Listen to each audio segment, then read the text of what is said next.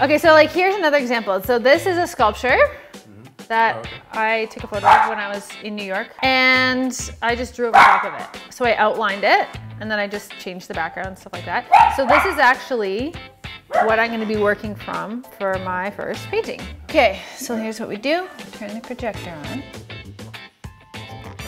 Select. Go. Boom! There she is. And now all we do is we just trace, trace, trace. And now we paint.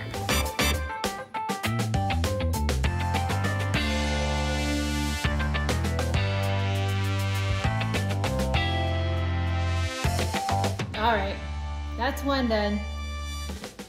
51 more to do.